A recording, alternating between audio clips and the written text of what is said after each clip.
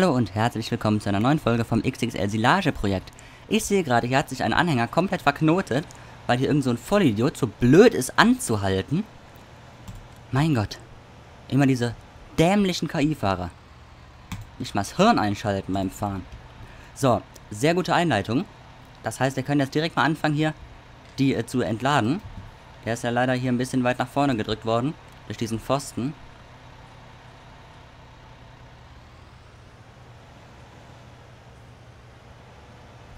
So. Man sieht, ich habe schon wieder ein bisschen getan seit den letzten Folgen.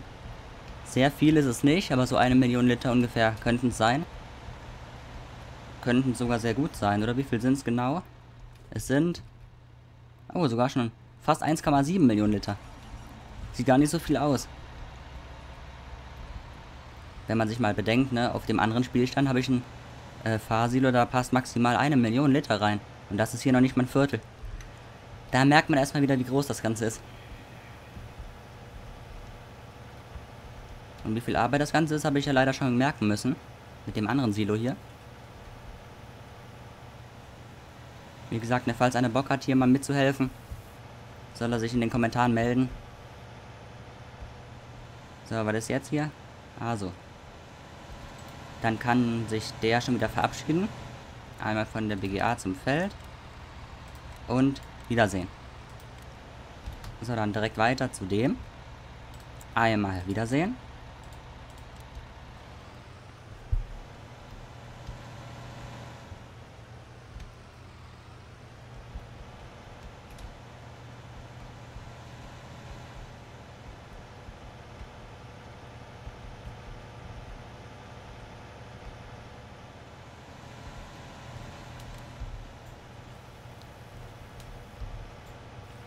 So. Also es hat zwar jetzt gar nichts mit dem Thema zu tun, aber ich höre heute so am Tag Radio, ne? Kommt da so ein Lied von Drake, ne? Der Moderator, als das Lied vorbei war. Das war Dreck, äh, Drake. also ich fand so mega lustig, wie er da so ganz unauffällig versucht hat, das Ganze zu überspielen. Aber ganz ehrlich, das Lied war auch Dreck. Von daher war es gar nicht so falsch. Ähm, genau, von der BGA zum Feld. Und, hä, was ist denn jetzt passiert? Wieso verbindet der denn jetzt manchmal hier diese Routen auf einmal? Hier Start, da Stopp. Warum? Ne, umgekehrt. Hier Start. Hä?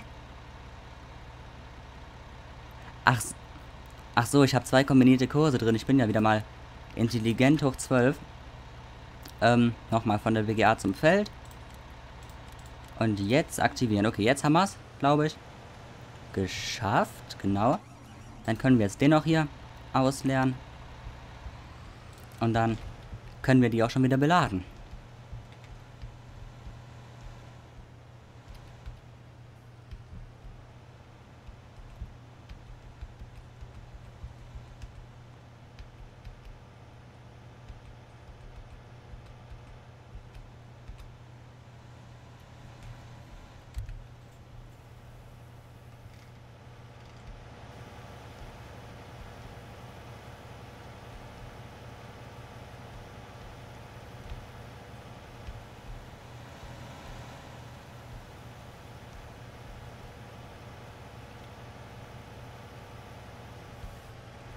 Okay, dann waren das auch schon, glaube ich, alle drei Anhänger. Dann können wir auch schon wieder anfangen mit Beladen. Hoffe ich zumindest. Oder ist der andere noch gar nicht am Feld? Nee, Tatsache. Nee, Tatsache. Der ist noch gar nicht da. Aber gleich.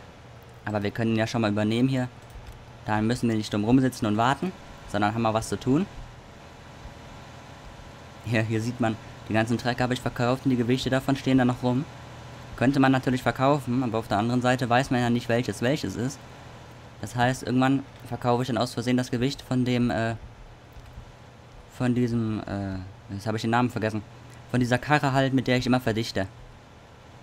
Genau. Klaas Cerion oder so heißt der. Oder? Keine Ahnung. Spielt aber auch eigentlich keine Rolle.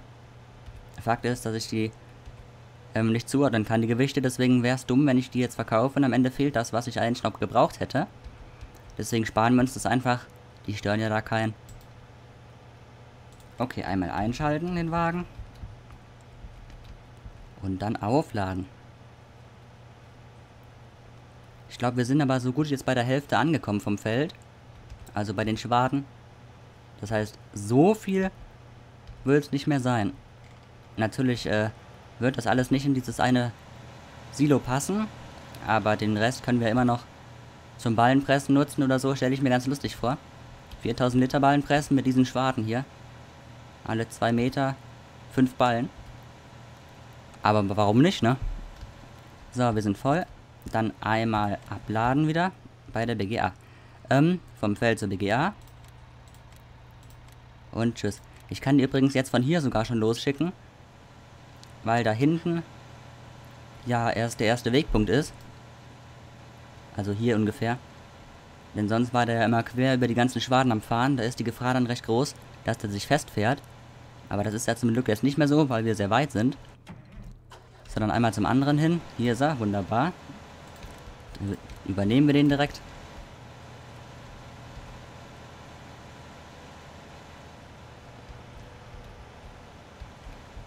Aber ich muss sagen, wenn man sich dran hält hier, dann schafft man das schon an einem Tag.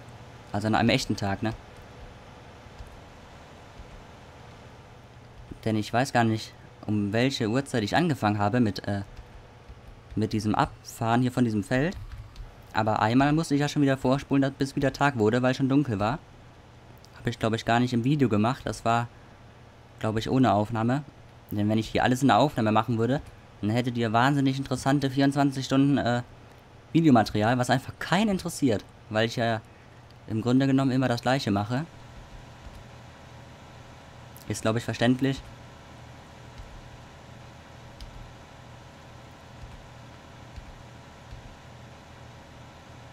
Okay, der dritte Abfahrer ist auch schon da.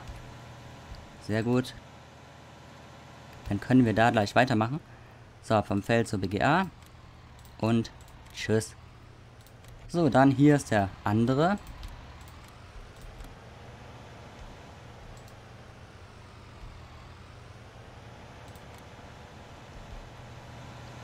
Eigentlich müsste man diese ganzen Fahrzeuge mal kärchern. Die sind schon einiges voll Dreck. Ist ja kein Wunder. Bei der äh, Arbeit, die die hier verrichten, Tag und Nacht.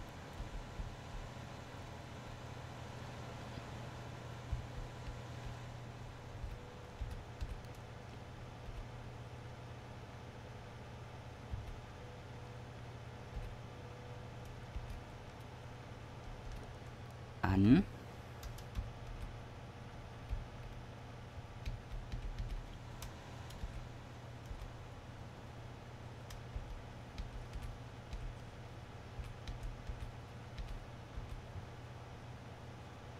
Also wenn man sich dran hält, dann ist es gar nicht so viel Arbeit.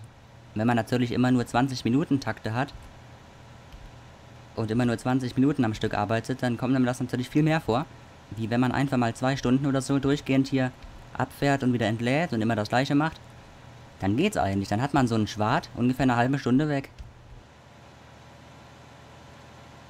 Ist natürlich immer noch nicht sehr schnell, ne, im Vergleich zu so normalen Schwaden. Aber für diese Verhältnisse geht das eigentlich. So, Feld BGA. Und Wiedersehen. So, dann gucken wir mal, wo der erste wieder angekommen ist hier. Hier sieht man, er ist vor dem Fußballstadion. Das heißt, er ist auch gleich an der BGA. Denn die BGA liegt ja bekanntlich hinter dem Fußballstadion. Wir übernehmen aber schon mal. Dann haben wir was zu tun.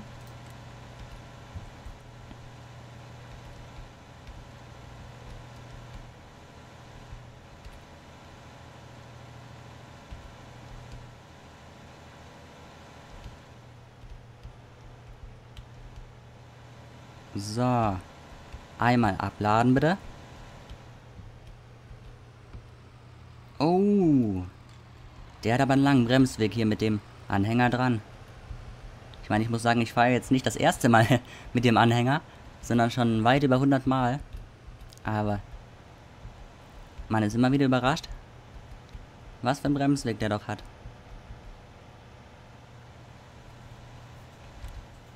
Einmal abladen. Ähm, wie viel Prozent ist denn, denn verdichtet hier? 81, das geht eigentlich. Denn ich hatte den neulich mal verdichtet.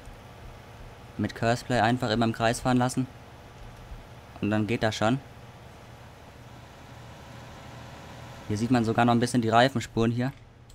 Hier so. Sehr unauffällig. Aber es hat seinen Zweck erfüllt. Verdichtet war es danach auf jeden Fall. Aber desto mehr Silage wir dazuschütten, beziehungsweise wie viel Gras wir dazuschütten, desto weniger verdichtet ist es natürlich. Ist ja logisch. So, BGA fällt. Und tschüss. Dann der nächste müsste jetzt auch gleich kommen. Oder? Wo ist er? Genau, der ist jetzt auch beim Stadion. Sehr gut. Einmal entlassen.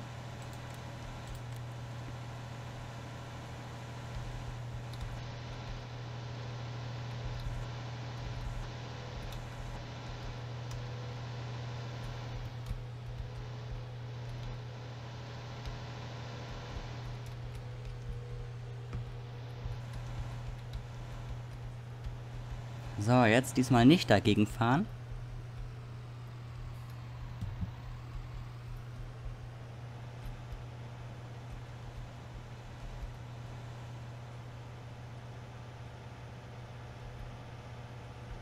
Hier, die Lücke muss noch gestopft werden. Dann werden wir den Anhänger auch schon wieder quitt. Denn da passt so viel rein, das ist echt gigantisch. Man müsste mal so ein großes Silo in echt sehen. Da wird einem das erstmal bewusst, was man hier eigentlich macht.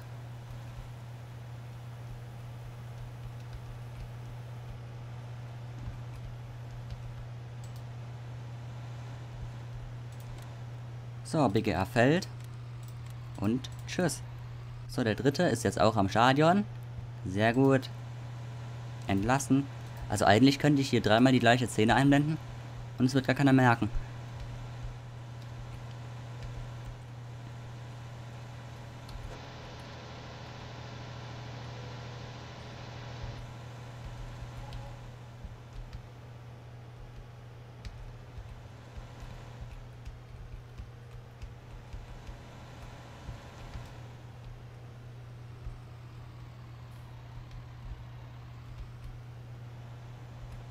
Bin echt gespannt, wie viel Geld wir damit machen, wenn das Ganze endlich fertig fermentiert ist und wir das Ganze dann verkaufen. Das dauert natürlich auch nochmal einige Folgen lang, aber da stelle ich mir richtig cool vor. Wenn man dann endlich wieder was anderes macht und das Ganze hier raus befördert und freut sich dann immer auf die nächste Arbeit, wenn man eine fertig hat. Das kennen die wahrscheinlich selber.